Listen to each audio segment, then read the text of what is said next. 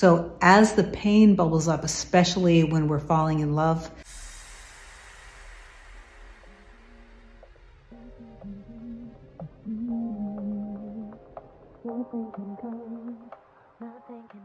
Hey guys, welcome back to another video. In case you're new here, I'm Kim, this is Core Unions, and I wanna talk today about how to deal with the emotions that come up as you're experiencing the opposite results or you're experiencing circumstances in your life that are going against what it is that you are affirming for. When we say ignore the circumstances, it just means that circumstances don't matter because they really don't. You can drop the circumstances altogether as they happen. But you deal with them in a way that you know that this is going to pass, that this is just temporary. Life is just mirroring back to you through people, through experiences, and through circumstances, the things that we need to look at so we can change. Dealing with your emotions is one of the most important, from my perspective, it's one of the most important pieces of this entire journey. Through people, through circumstances, through oftentimes painful circumstances and painful experiences,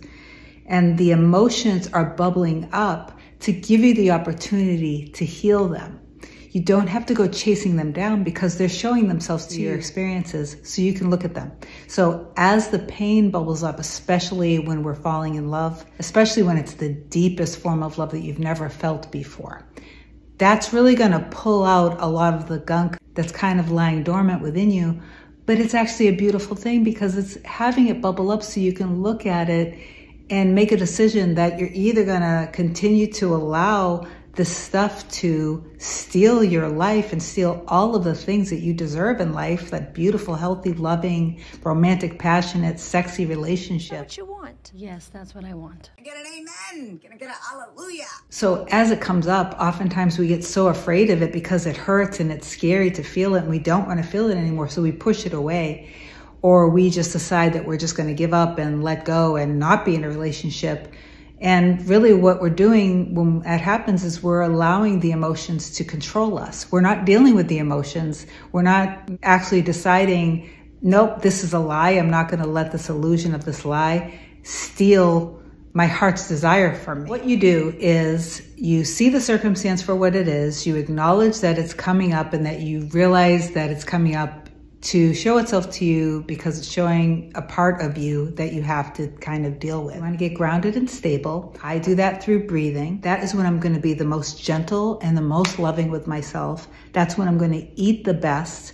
I'm going to make sure that I am putting only good things in my system, pamper myself however I have to, whether it's going to get a massage, if it's getting in the sauna, if it's taking a nice hot bath with Epsom salts, listening to music that I love laying down, breathing, meditating, listening to affirmations to make me feel totally and completely loved and adored.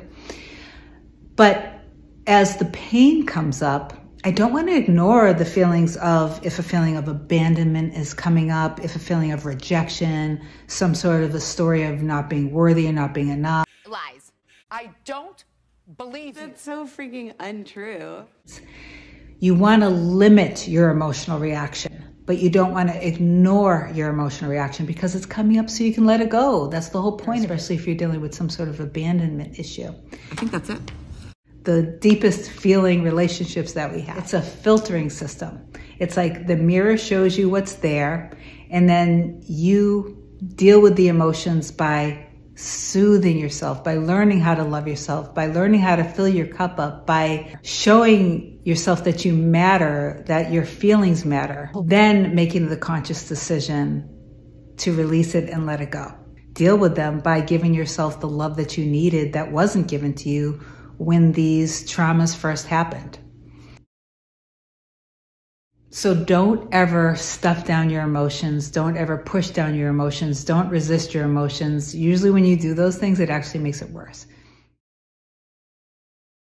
When I go through things with circumstances and when it really hurts, I will cry like a baby. I will go in and hold my pillow. also imagine, you know, my person loving me and holding me and telling me that no matter what, it's you know it's me and you no matter what like ride or die like all of the things that we feel for each other i'll hear her and feel her and just sense her saying those things to me. And it feels very natural. Then we allow all the beautiful love that we know that we deserve, that we crave, that we are totally, completely worthy of to actually be in our life and stay in our life. And we allow ourselves to feel stable and secure. And we let down the barriers that we've built so high around us because we were afraid to love because, you know, our past experiences of love maybe weren't that healthy.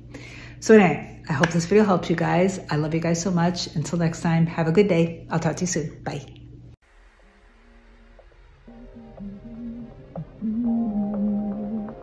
Nothing can come, nothing can come, nothing can come between us.